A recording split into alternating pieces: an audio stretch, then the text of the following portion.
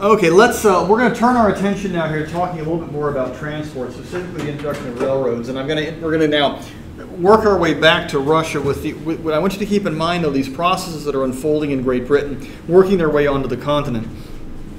And one of the challenges, of course, that Russia faces in its quest for industrial and technological development are the problems that it is entailed with the internal waterways and the transportation systems that we discussed the last time.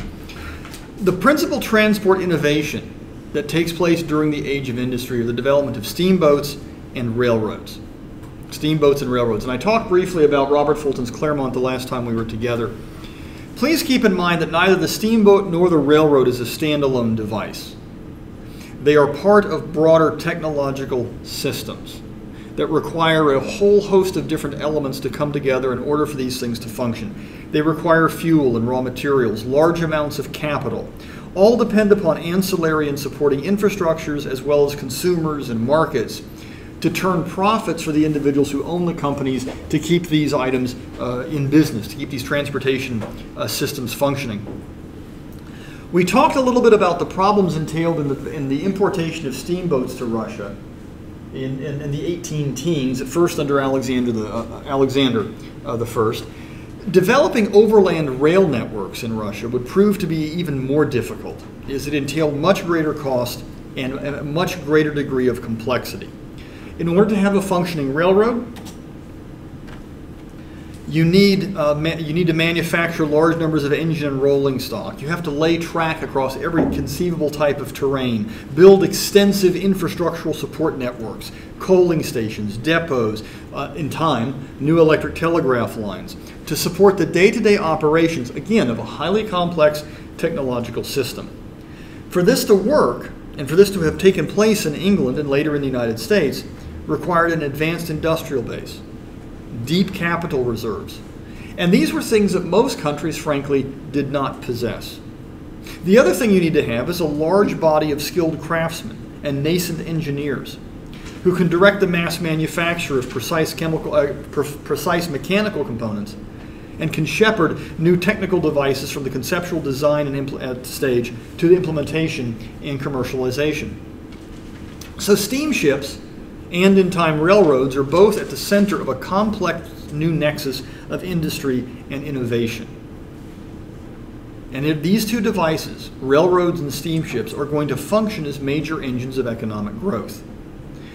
To build them, you, you're going to need more coal, you're going to need more lumber, you're going to need more iron. It spurs the development of basic industries, it spurs the development of new machine tools. It leads to the development of new techniques which will be adopted or adapted by other industrial enterprises. Mass production, mass production is part of this process of industrialization. In the two countries that really lead the way, the first, of course, is Great Britain. The first is Great Britain. But when it comes to building steamships and railroads, the country that follows along behind Britain is the United States of America. Great Britain and the United States were best able to exploit the transformative potential of new steam technology. Both enjoyed favorable circumstances that most other nations did not possess. They had easy access to abundant supplies of raw materials. The United States, from its interior hinterlands, the British, from its expanding overseas empire, where they could bring in coal and lumber and other things if they didn't have it there. Both had well developed markets, both had ample supplies of skilled technical workers, and both possessed abundant investment capital.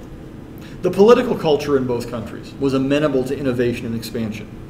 Both countries were marked by a general trust between government and industry, and this enabled public and private cooperation and at times collusion with things like eminent domain where the, uh, the, American government would step in and basically take lands from private owners in order to produce or to, to have a place to lay down rail lines.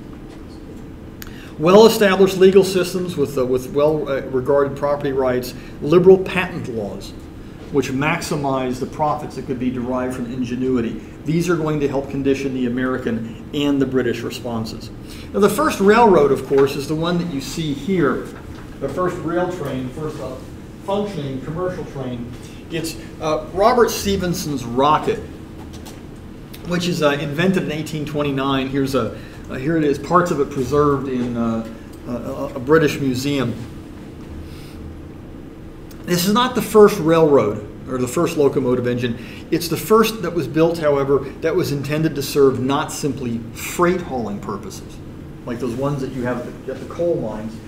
Stephenson's rocket is designed to carry passengers as well.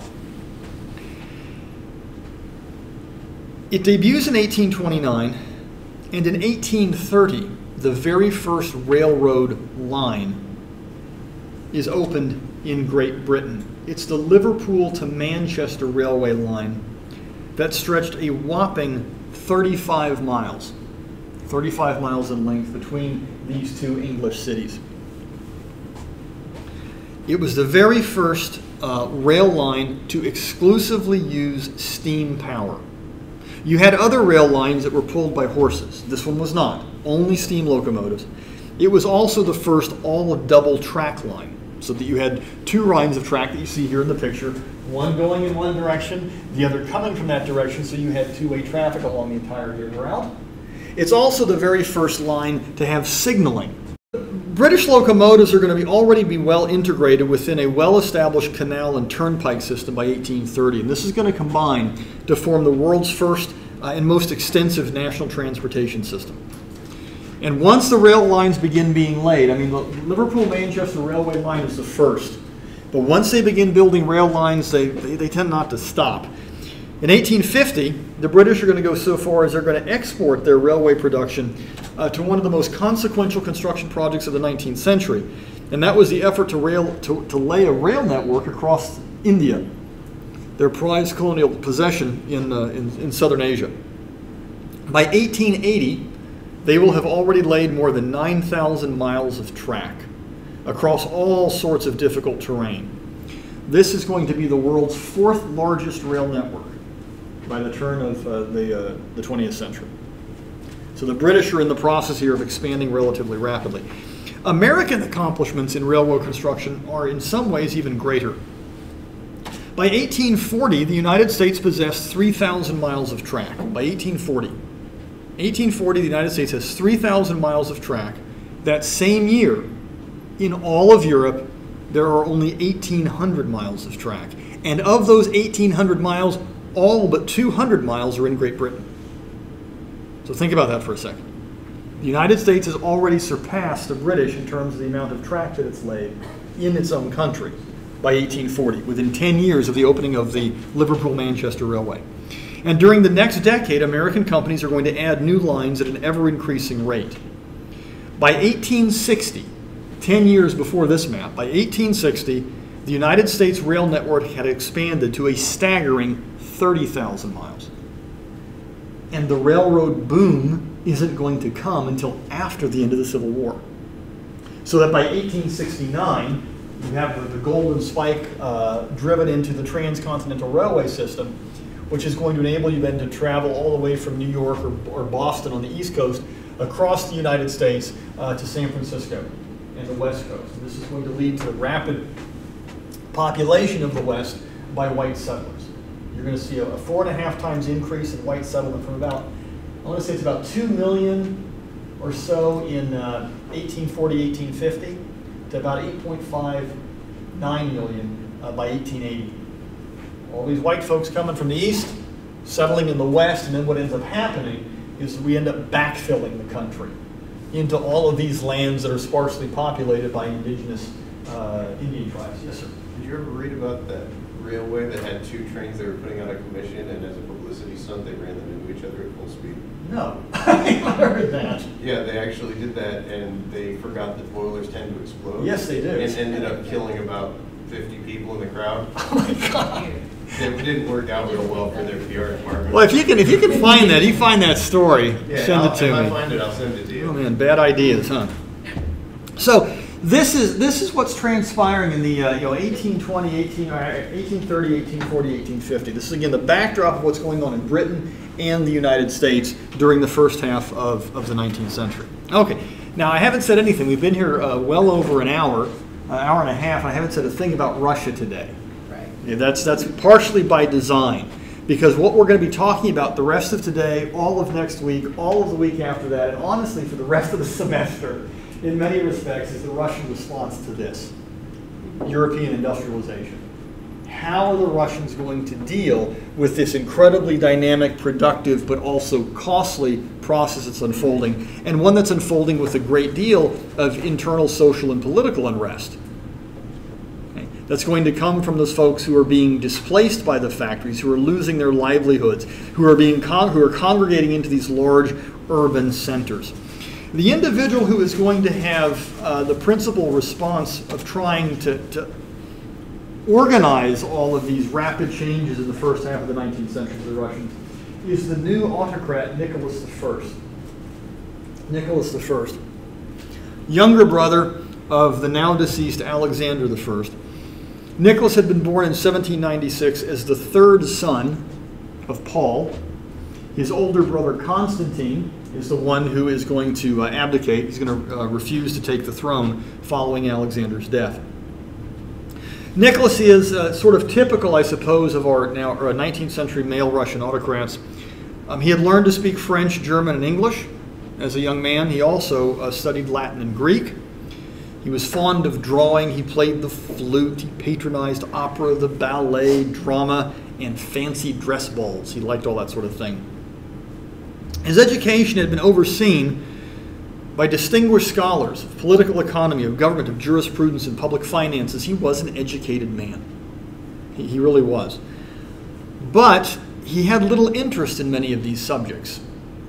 You, you can, you know, you can, you can bring education to an individual. It doesn't necessarily mean that they are going to exercise that education um, and, and, and embrace liberal learning. At a very early age, he developed an aversion to what he called abstractions legal notions, theoretical ideas. These remained largely foreign to his mindset. Although educated, he could be very narrow minded, very conservative, to the point of being obscurantist. There were certain things he simply wanted no part of. His theory of governance, his theory of rule, could be summed up in the following quote. This is Nicholas speaking. Sound morals are the best theory of law. They must be present in the heart of every man, irrespective of any abstraction, and must be based on religion. The one thing that he did have an abiding fascination with was all things military, not unlike Alexander, his older brother, not unlike his father, Paul I. He loved military science, he loved a good military parade.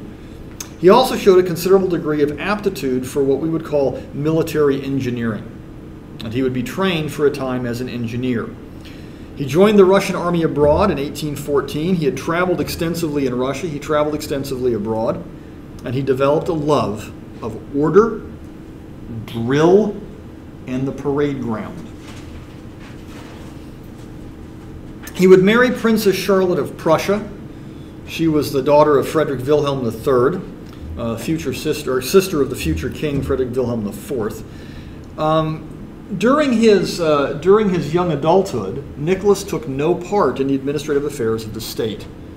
He had no public role under Alexander I.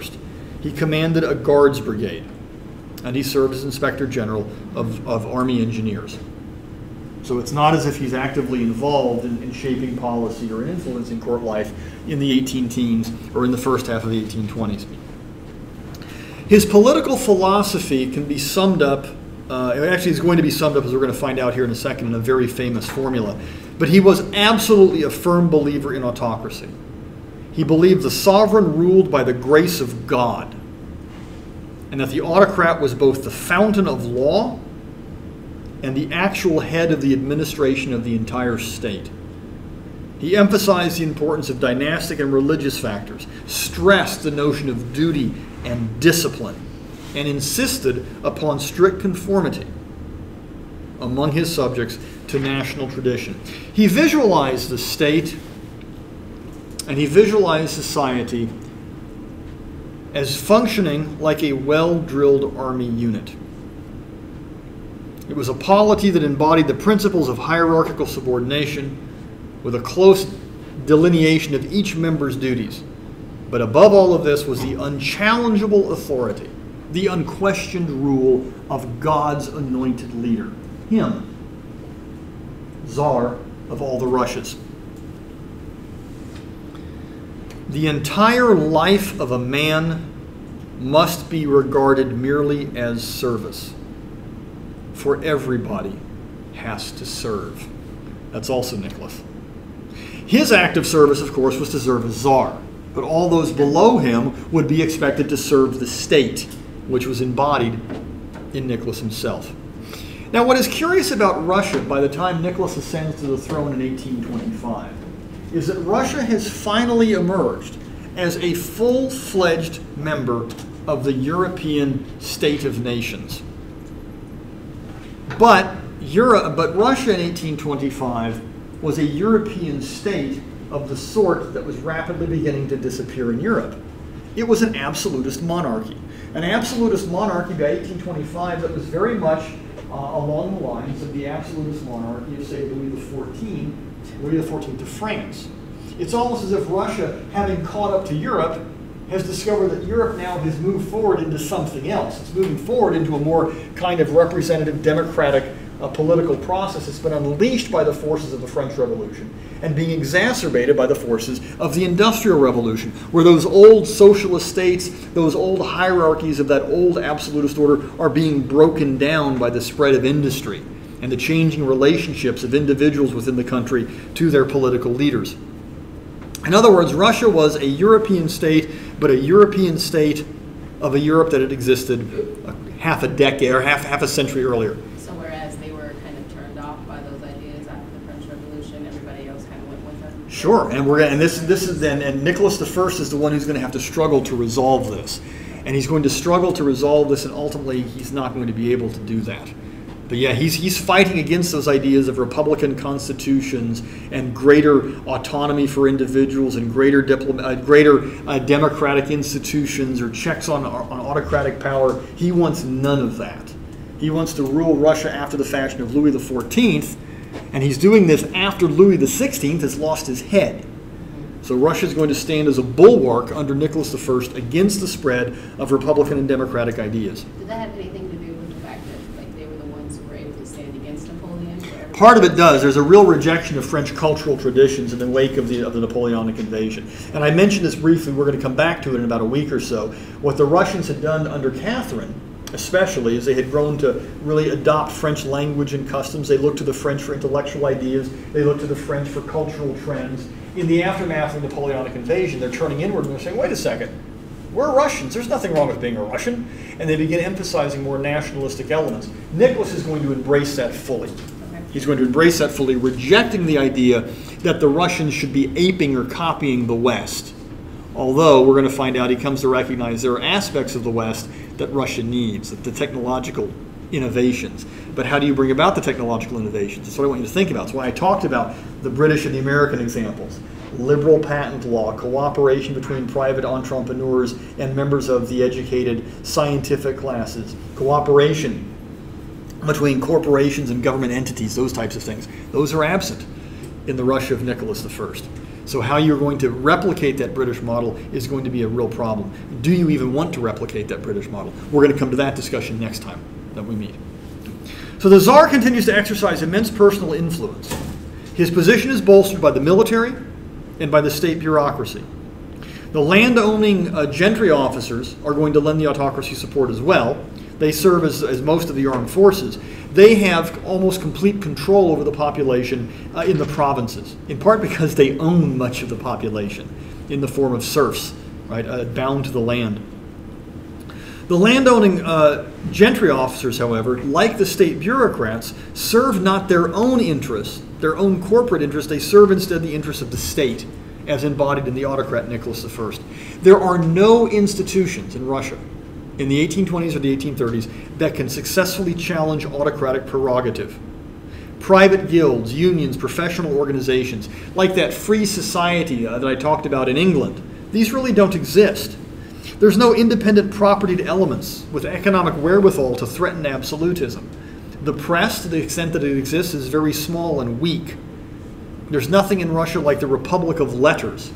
Uh, the journalists, the newsmen, the lawyers who wrote pamphlets um, as French revolutionaries um, or as members of the Sons of Liberty in the United States, that proto-revolutionary group of, of pamphleteers and journalists like Thomas Paine, who would spread revolutionary unrest among the colonies, resulting in uh, the American Revolution in 1776. 1825, you don't have this in Russia. And we're already now 40 to 50 years after the fact. And Nicholas is going to stand athwart against these kinds of, uh, this kind of progress. We've already seen, however, that in Russia the autocracy could serve, and the state in general could serve as a, as a very important agent of change. The impetus, the initiative for change typically came from above. We saw that with Ivan III, we saw that with Ivan IV, more recently with Peter the Great and Catherine the Great. It appears on the surface that Russia under Nicholas I, in those circumstances, the state seemed to act more frequently as a brake, as a hindrance to further change or progress. Part of this has to do with the ways in which, or the circumstances in which uh, Nicholas I had come to power. His coronation, uh, to or not his coronation, his ascension to the throne had been marred by the Decembrist revolt of 14 December 1825. Those young uh, army uh, guard, those young army officers who had experienced Europe during the, the, Napoleonic invasion had come back to Russia and begun plotting to establish a new form of government their revolt uh, in December of 1825 deeply haunted Nicholas I. He was disturbed above all by the fact that the conspiracy had centered on noble officers, nobles, who should have been loyal to their sovereign. He was concerned at the same time by the political and social discontent that was now roiling increasingly the European continent, and he feared that European revolutionary sentiment would spread to Russia. What he aimed to do from very early on in his reign was to check any domestic dissent by using repression and surveillance. I mentioned this at the, at the conclusion of, of, of last week's meeting.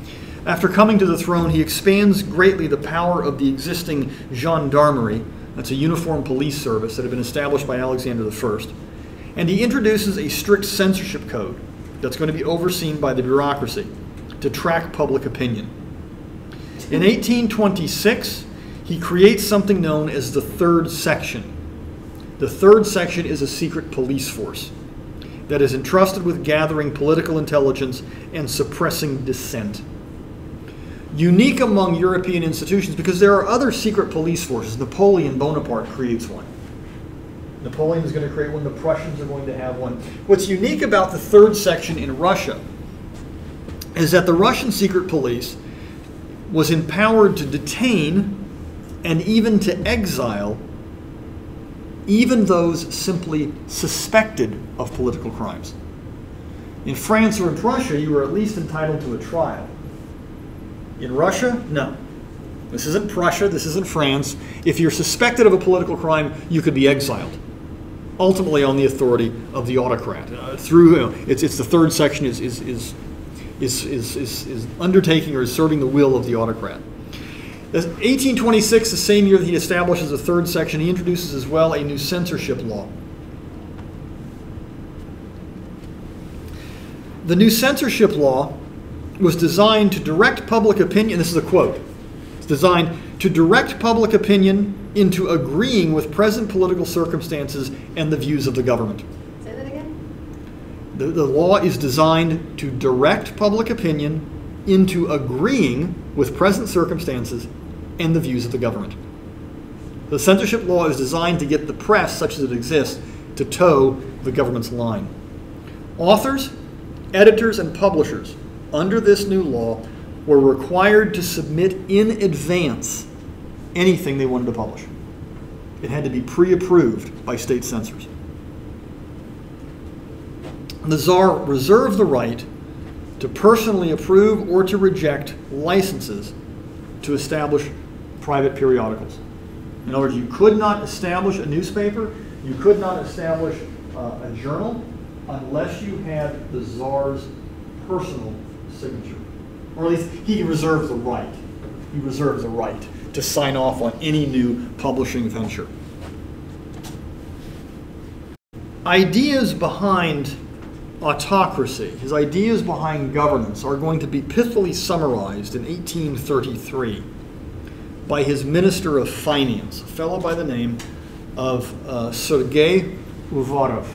Uvarov would write that his goal for the Tsar's subjects was to ensure that all subjects, being permeated by one and the same feeling of devotion to throne and the fatherland, will use their resources to become worthy tools of the government and to earn his complete confidence. What the education minister believed was that educational institutions existed to create individuals to serve the state. Now, if that sounds familiar, it should. That was Peter's idea behind education. You receive your education in order to serve the state, not in order to serve the oligarchy. You don't receive your education to become a free thinking individual. His goal was to ensure that all subjects would, um, Use their Use their education education to serve the state. sorry. None of that critical thinking crap.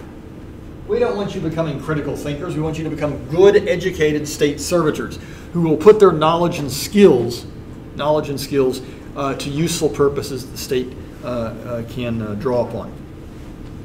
Another one of the things that he's, he's well known for saying is that he wanted to avoid the emergence of university Pugachevs. In other words, like the, our, our rebel under Catherine II, he doesn't want rebels emerging out of uh, the university students. He doesn't want the, he doesn't want them trying to raise the rabble. The impact on all of this would come to be, I should say, the uh, the slogan that he would develop, the slogan that uh, the education minister would develop, that would come to define Nicholas's reign until Nicholas passes from the scene in 1855, is orthodoxy, autocracy, and nationality. These are the three foundations upon which Nicholas I is going to base his reign orthodoxy, autocracy, and nationality. Devotion to the church, devotion to the state, and an awareness of the central role played, because when we say nationality, we mean specifically Russian nationality. The impact that uh, Uvarov is going to have on education is to impose upon university students strict new codes comparable to military discipline. The university students are going to be uniformed. Mandatory wearing of uniforms to identify students when they're out and about in, the, in, the, in town. They're required uh, to undergo participation in drill, and their instructors at university are expected to keep watch over them and to punish them appropriately if they get out of line. You could be fined for improper dress. You could be fined if your hair was too long. And the other thing that the ministry is going to undertake is to restrict enrollment in universities to prevent the student body from becoming unmanageably large. You also want to limit access to university education to nobles only. Nobles only.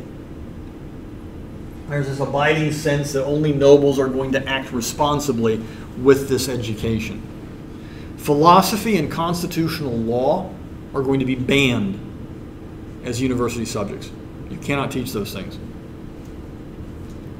The ministry is going to no longer send young men abroad to prepare for university professorships. And limitations are going to be imposed on the acquisition of foreign books by university libraries. This sort of harkens back, back to things that we saw under Paul I, restricting mathematical and music books because he thought that there were formula uh, in the mathematical, or he thought there were secret codes in the mathematical formula, the musical notations. What this is is an attempt to wall off Russia from the contagion of revolutionary ideas that are percolating in Central and Western Europe. We've already seen these revolutionary ideas infect um, and upset the minds of those Decemberist revolutionaries. What Nicholas wants to do is to prevent them from affecting greater and greater numbers of Russians.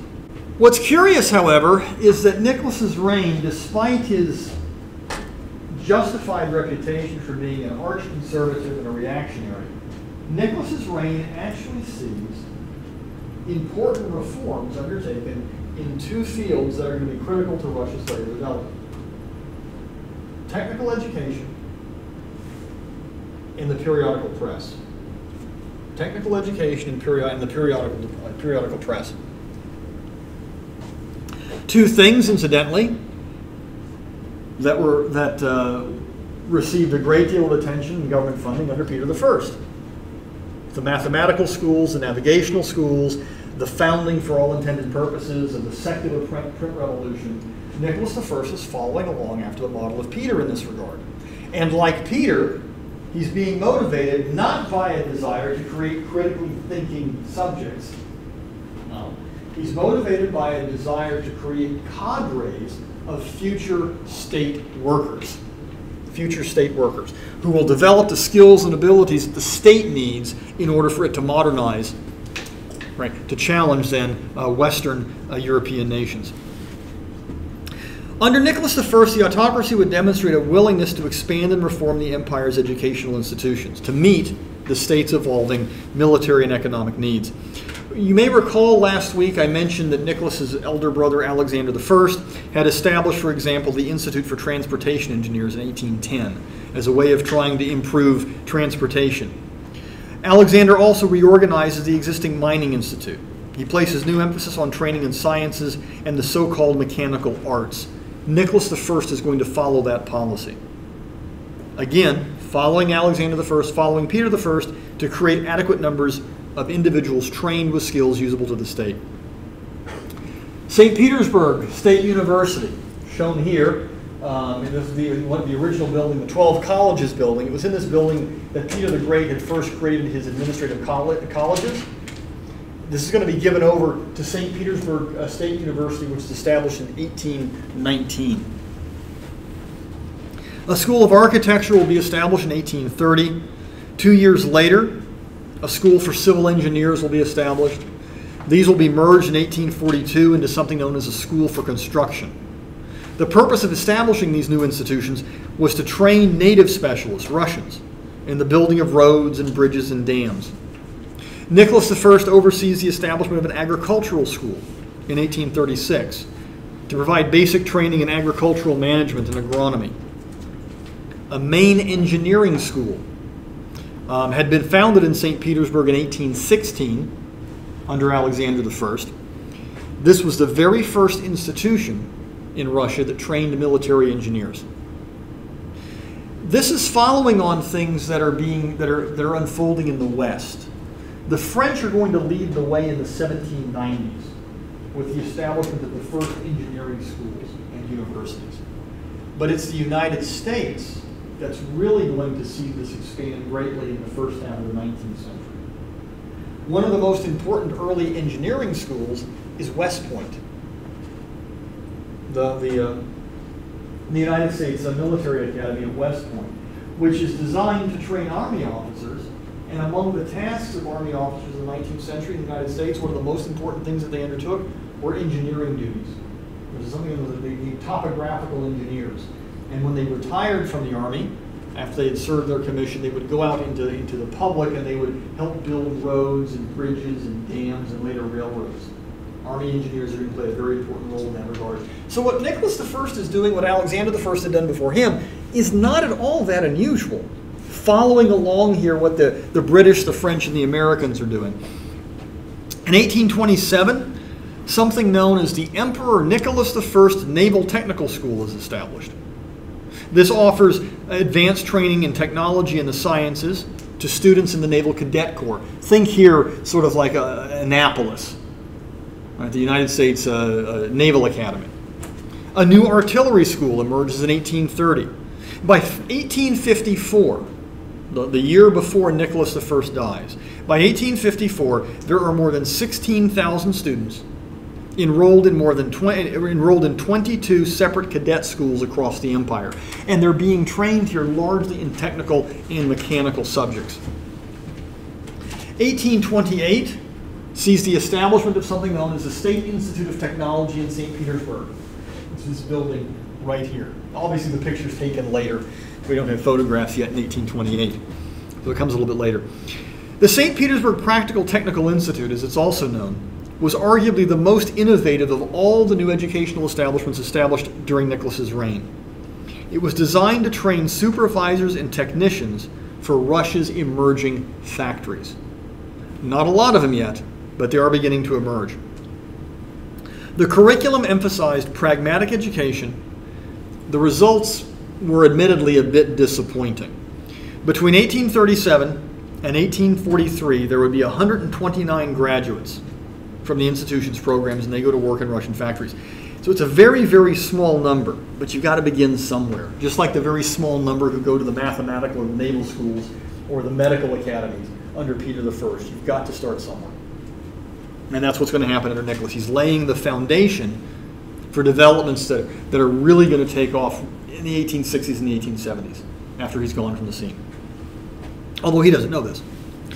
So technical education is one area of important reform and expansion under Nicholas I. The other area of reform has to do with the periodical press.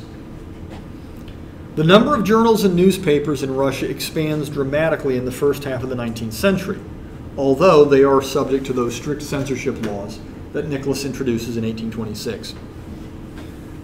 Growth of the periodical press in the United States, in Britain, in France, is driven by what? Politics. partially politics because you've got newspapers and journals that are taking political lines. You've got a, a, a Republican, or not a Republican, we have Whigs and we have Democrats. So you've got newspapers that are going to toe political lines. But you don't just have uh, political newspapers. What drives the industry? Why do you decide? Who, who gets to decide if they want to establish a new newspaper or a journal? In Russia, the state has to sign off on that. Yeah, it's the market. Market factors are going to determine whether or not a publication is successful. If you think that there's a demand out there for a new journal on such and such a topic, you develop the capital, the wherewithal, you invest that, you establish a press, and you begin printing magazines and journals and hope they sell. The periodical press in Russia is going to be patronized by the state. State monies, state direction, state initiative leads to the expansion of the periodical press under Nicholas I. And the, the press journals, the press organs that emerge, are going to emphasize technical subjects. This is a process that begins under Alexander, it continues under Nicholas, his younger brother. The first of the new journals is something known as the Technological Journal. That tells you everything you need to know. It had been launched via a decree during the reign of Alexander I. It was a quarterly publication from 1803 to 1820. And what the Technical Journal did is it published translations from foreign works, as well as a few original pieces by Russians on a wide range of subjects involving things like chemistry and agriculture and metallurgy. Descriptions of the latest factory and production technologies that are being developed abroad. So you might have a story about the development of a Watt steam engine and its application to the textile. Thrilling reading, right? This is what you want to get up on a Sunday morning, you know, or Saturday morning and read about. Others are going to follow. In each instance, one of these is going to be sponsored by an individual state ministry. The Mining Journal is established in 1825. It's sponsored by the Finance Ministry. Journal of the Ways of Communication. Ways of communication, roads, and later uh, uh, railroads and telegraphs. That's going to be established by the Transport Ministry. Several new military journals emerge the Naval Collection, the Military Collection, the Artillery Journal. Each one of these individual things is designed is designed to promote the spread and the dissemination of technical and mechanical knowledge. Technical and mechanical knowledge the state recognizes it needs to have in order to keep pace with rapidly unfolding technological and scientific events in the West. 1837 is going to see the establishment of something known as the Ministry of State Domains, sometimes translated as the Ministry of State Properties. And as the name suggests, this is a ministry that oversaw the administration and the, the, uh, the use and the productive capacity of lands and properties owned directly by the autocratic state. The Ministry of State Domains is going to attempt as well uh, to raise the level of the uncivilized, backward peasant masses across the Russian realm. One of its tasks is going to be expanding rural sanitation, trying to bring improved medical care, introducing modern agricultural practices. Why is that important? We just talked about the Norfolk system in the first half of the class. Improved agricultural productions is the foundation, it's the bedrock of England's Industrial Revolution. How can you improve and make more efficient agricultural production in Russia? Well, that's one of the things the Ministry of State Domains is going to be uh, charged with doing.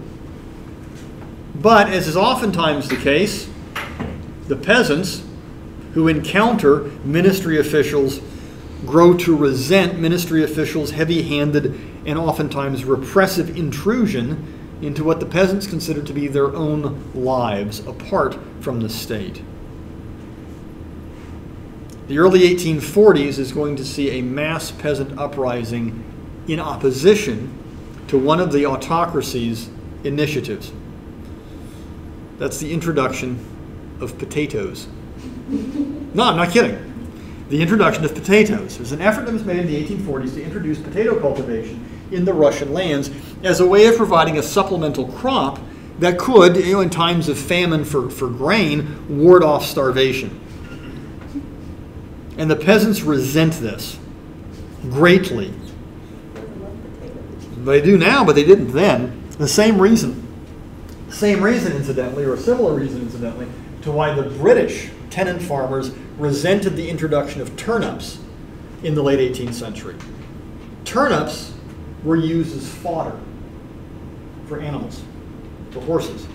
Potatoes were used as fodder for horses. The peasants equated the introduction of potatoes with the state trying to feed them animal food.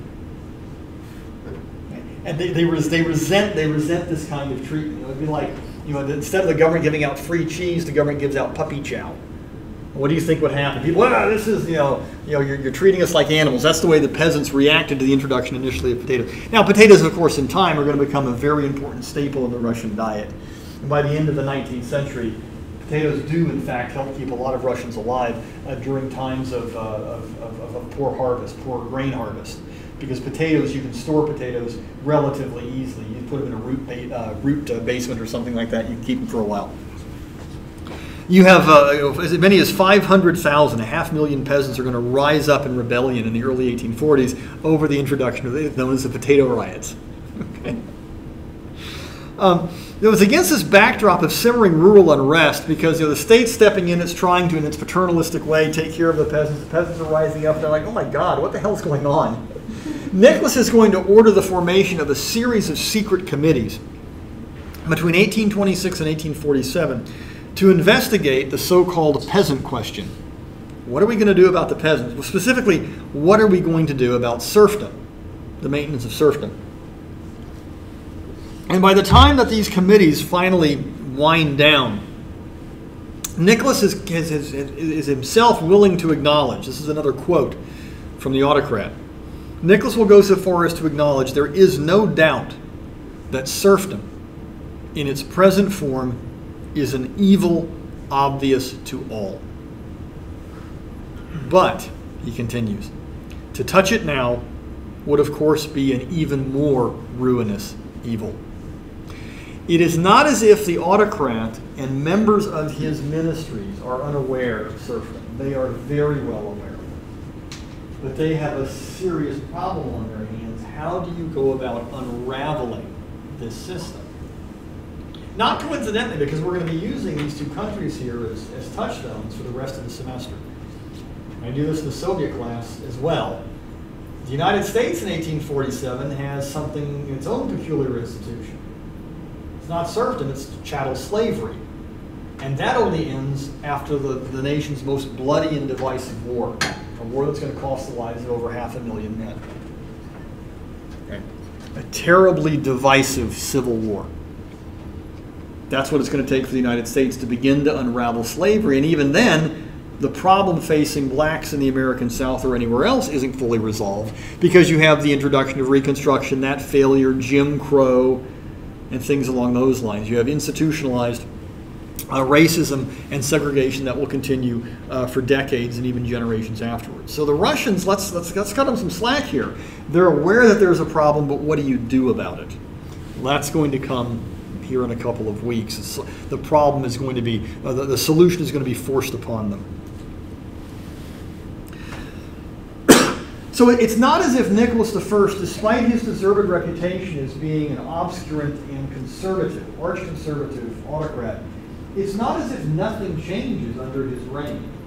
Expansion of, of technical education, the expansion of the periodical press, these are going to lay the foundations, really important foundations, for Russia's later industrial takeoff. But Russia's industrial takeoff doesn't take place in the 1820s, the 1830s, even the 1840s or the 1850s. It's going to take a little bit longer.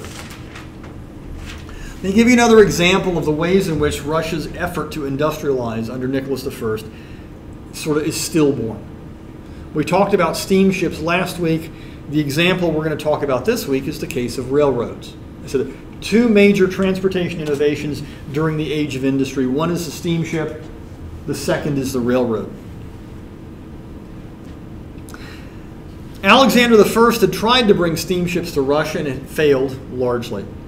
The reign of Nicholas I is going to see the first efforts to develop a rail network in the Russian Empire. And this is part of a general pattern of Russian technological development that we've already seen.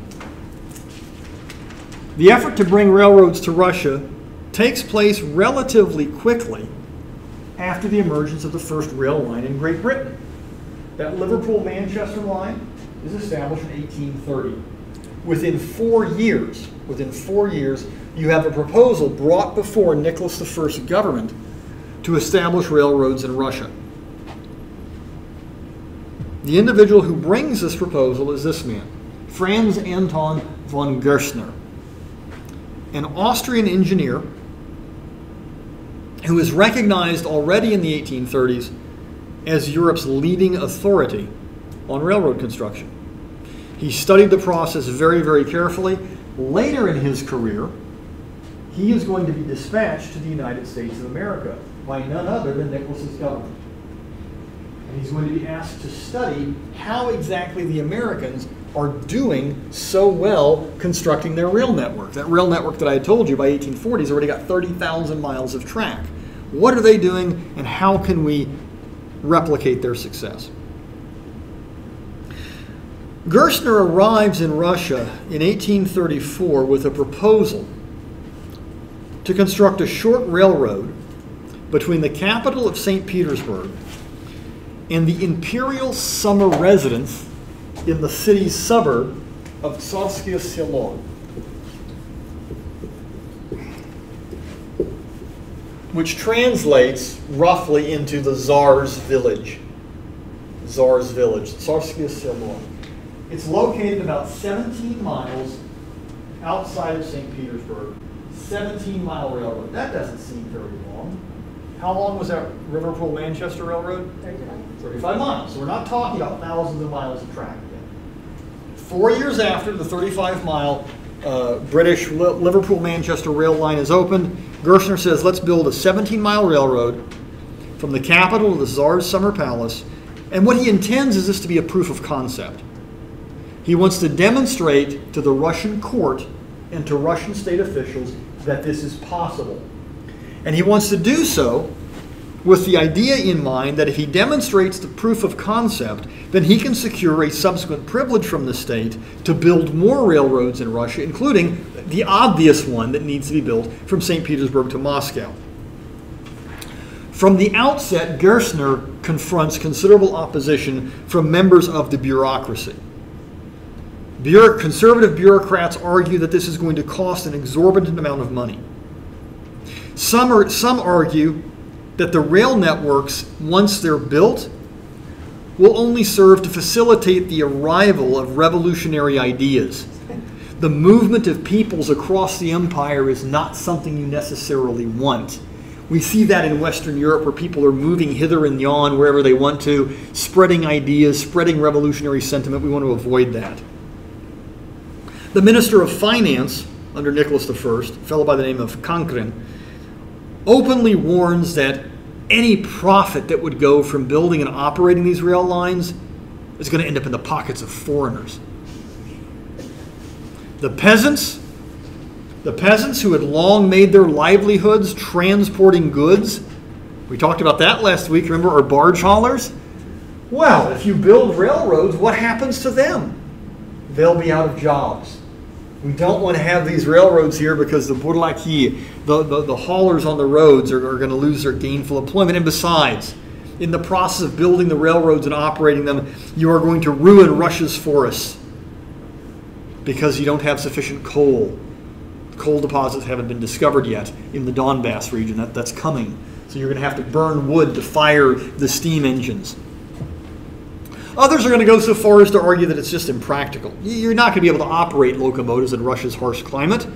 Some theorize the trains simply aren't going to be able to operate except the period April through November because once the heavy snows come, everything's going to shut down, so it's a waste of money. Opponents go so far uh, in, in, in, in trying to prevent Gerstner's proposal from being accepted that they actually begin launching public attacks in this newly emerging periodical press that's been patronized by state ministries.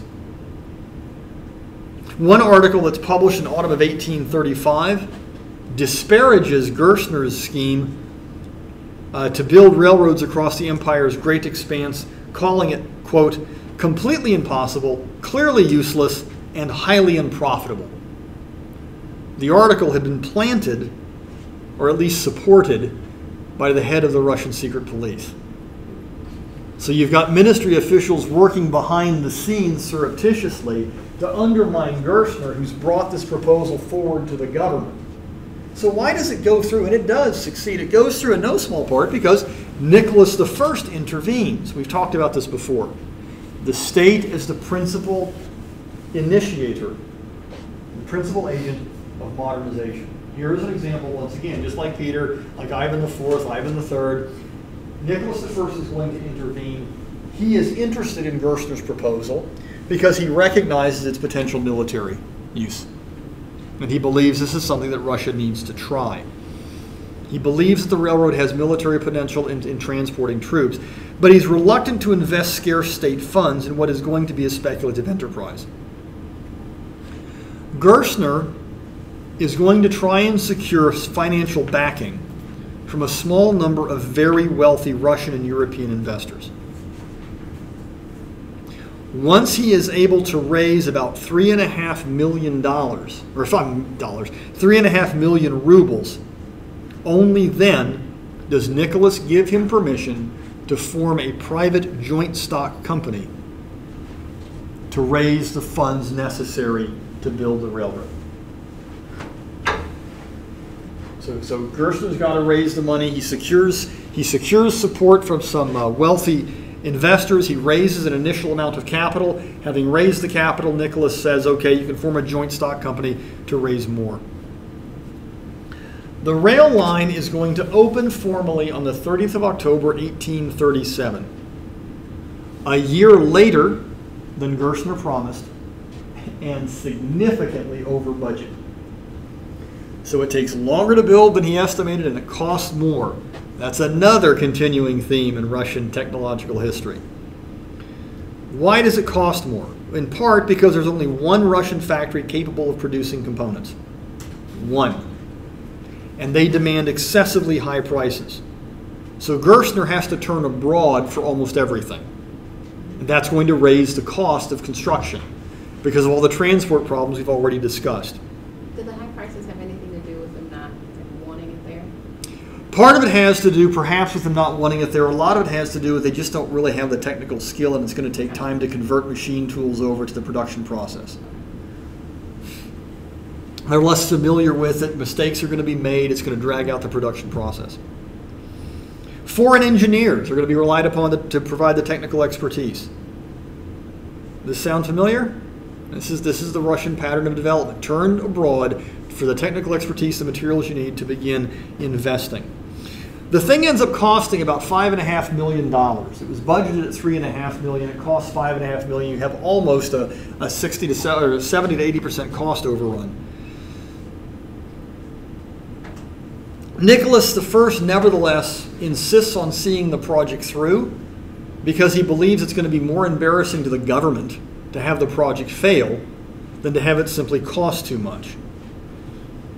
But in all honesty, in this respect, Russia's experience isn't that much different from countries like even the United States, where government intervention is required to underwrite the incredible capital costs of railroad construction into the 1850s, 60s, 70s, and 80s. So the government's going to step in, it's going to claim eminent domain, seize private land, give it over to the railroads, guarantee the railroads profit as a way of getting this, uh, it, this uh, transportation infrastructure up and running. The problem that Gerstner has is that once in business, the day to day operation of the rail line proves to be more expensive as well.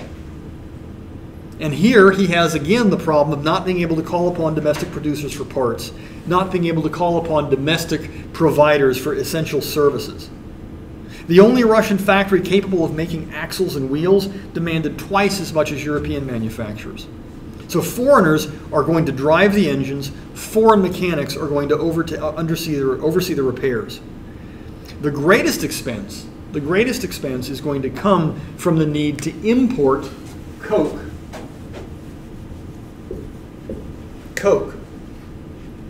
Coke is a form of bituminous coal that has been baked at high temperatures to harden so that when it's fired, it burns at a higher temperature and for a longer period. Coke is, in short, for all, all we need to know about Coke today, is that it is a much more efficient fuel source for powering steam engines. It's, in fact, it's the, fa- it's, it's the favorite source uh, of, of energy for, uh, for steam engines and for blast furnaces because, again, it produces higher temperatures for longer periods with greater energy, less smoke and ash. Russia is not going to have any factory that produces coke uh, until very, very late in the 19th century. The reason for this is simple there's a lot of wood and as a result of there being a lot of wood in Russia, there's a lot of charcoal. As late as 18, as late as the 1880s, only 6% of Russian iron is going to be produced using coke, a time by which virtually all American, all British, all Prussian uh, metallurgy is being undertaken using coke. So the Russians are going to use this cheaper. We've seen an example of this already as well, and that would be the slow transition for Russian cannon casting from iron to bronze because the exorbitant costs of bronze manufacturing and at the time Russia's absence of copper deposits to make that possible they rely upon this existing cheaper method it's not as efficient but it gets the job done yes ma'am Are these train, like the cabs, are they also made out of wood?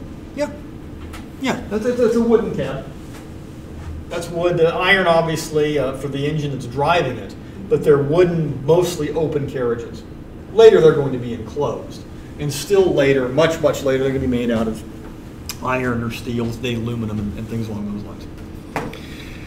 So, what, but, uh, in, in where was I here? Very quickly, because we're running out of time. Um, this ends up, however, being the extent of Russia's railroad development for about the next uh, 15 to 20 years. Okay. Uh, it, running the railroad at a steady profit, running it at a steady rate, proves to be a little bit difficult. Russia's going to be beset by a series of, of internal challenges. We're going to get to that. Uh, the problem, the, the real problem that Russia faces expanding on its rail network and anything resembling the British or the American model is a lack of state capital.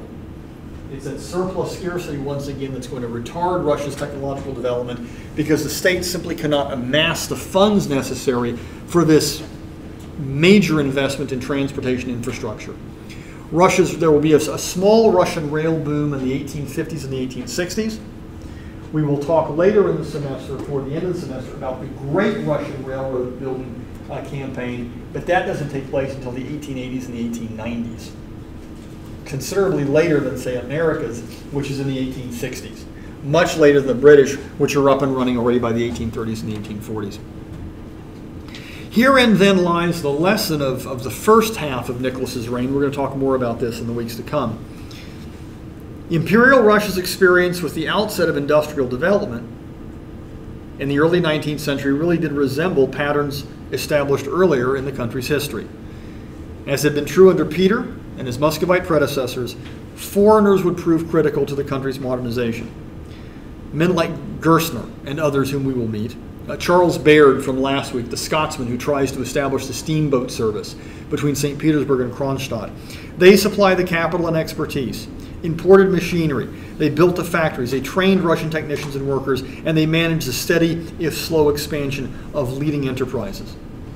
The state continues to serve as the principal instigator of development, but it's doing so to promote military and economic interests, not consumer culture. Not consumer culture. Russia's early industrial development would be understandably haphazard and it would be woefully complete. And it's the inability of Russia to take advantage of these new technologies that is, going to find it falling further and further behind from the standpoint of technological development its competitors in the West. And what this is going to end up producing, we're going to find out here in, in a week or so, is it's going to open up a technological gap. A technological gap that is going to have dramatic repercussions on Russia's military preparedness. So that although Peter's reforms enable the Russians to emerge at the forefront of European politics as a result of the liberation of Russia by the, by the peasant armies in 1815, already by 1845, 1850, Russia's development having reached a plateau and stopped, the Russians find themselves being outstripped by the Western Europeans. They now have to come up, having undertaken all those efforts to modernize under Peter and his successors, are going to have to begin another long process of modernization with the idea of catching up to the West, because the West is now caught up in this process of industrialization. Industrialization process, it's not going to reach full fruition in Russia until the end of the 19th century. But that is as yet before us this semester. Come on back next week. We're going to talk about the rise of the Russian discontented classes. We'll move on from there. New discussion of military affairs in the middle of the 19th century.